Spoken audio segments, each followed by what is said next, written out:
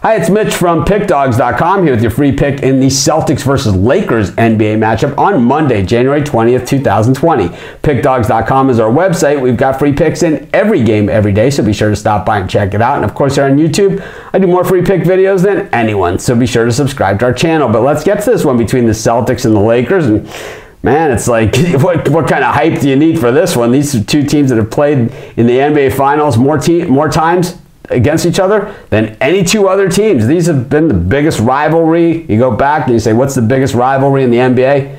Easily Celtics versus Lakers. And I think that, you know, while these players that are on the court for this game, they haven't been involved in a lot of those big rivalries, they certainly know about it. And I think the fan base, especially in Boston, well, I think they know about it in LA too, but I think the fan base in Boston, they still take it seriously and they take it as seriously as when it was Larry versus Magic. And uh, I think that you'll see that type of crowd in this game. Boston has been really rock solid at home this season 16, 16 and 5 straight up, 11 9 and 1 against the number. They have not been as strong at home recently as they were just a few weeks ago. Meanwhile, the Lakers 18 and 3 on the road this season, 34 and 8, and of course they're 9 and 1 in their last 10 games, 6 3 and 1 against the number, while the Celtics have certainly tailed off 4 and 6 in their last 10 games and 4 and 6 against the number. I just think that the Celtics as an organization know this is just too big of a game for for their for for them to not leave it all on the court. And I think,